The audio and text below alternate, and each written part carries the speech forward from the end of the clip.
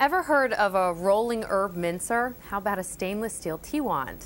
Okay, neither have I. April's issue of ShopSmart magazine has the goods and some kitchen gadgets that you never knew you needed. And to show off some of those gizmos, we're joined by Sue Perry, deputy editor of ShopSmart. Good morning. Good morning. So usually when we are setting these interviews, I read the articles, I prepare for it, but I didn't do it on purpose this Good. time because we want to play a little game here. Yeah, let's play a game. All right, so what do we have? Okay, what do we have? Um, to me, that looks like a computer mouse or a hamster house. Well, you know what? Good guesses, but remember these are kitchen toys. Okay. This is a corn stripper. oh, Yeah, so it's got this little blade at the bottom, and you go along the cob, and it takes off the corn kernels and puts them in here. It holds about a half a cup. And so um, this is all it does. And so if you have the kitchen drawer space for just taking the corn off cobs, um, and if nobody in your house can eat corn on the cob for some reason, Right, maybe it's a it's stuck good thing. or Exactly. Or if you make a lot of co- salads with corn in it or chowders or something, it might be something that you want to have. But otherwise, remember, this is all it does is take the corn off Yeah, cobs. that's neat. So no knives down the corn stalk. Yeah. What about this next one? This to me looks like I don't even know. Don't even know. Can't take a guess. Can you put stuff inside it? You do. Good. Okay. Good start. This is a tea wand. So you, you take this and you put the um, tea leaves inside here. It's, there's a little scoop. This comes apart. And this plastic part has little tiny holes in it. So when you put this in the water in your teapot or your cup, it steeps the tea. Okay. But it also has another use.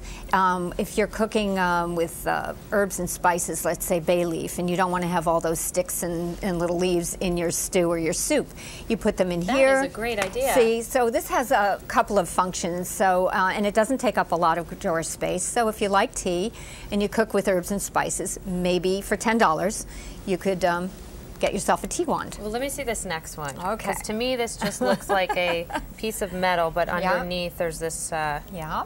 I, I again, I don't know. Okay. I'm sorry. Maybe I'm not that creative no, tonight. no. You know what this is? Well, look at what it. You know, it kind of looks like. Um, For your finger, maybe. it's like you put it on your finger, and it is a cook's shield. It's a So guard. burn yourself? No. So you, when you're uh, supposing I'm cutting and chopping and slicing here on a cutting board, That's so I don't cut my fingers. That is great. This is good. It's $15, and if you do a lot of slicing and dicing and chopping and a lot of knife work, this could save your fingers. If you don't, and you use one of those little automatic choppers or your food processor, you could save yourself the $15. But that's what this is. Um, this next one to me looks like maybe uh, to make melon balls or something like that. it has that look. Um, it does have that look, but this has a different function. Okay. This little, there are two ends. One looks like a little spoon, a little scoop, and one has little teeth. You can feel the little sharp teeth here. Yeah. This is for taking the stems out of peppers and tomatoes and hulling strawberries. Okay. Quickly. And this little um, scoop is for when you open up a pepper and all those annoying little seeds. yes. So that's what it is. Is a stem and a seed remover.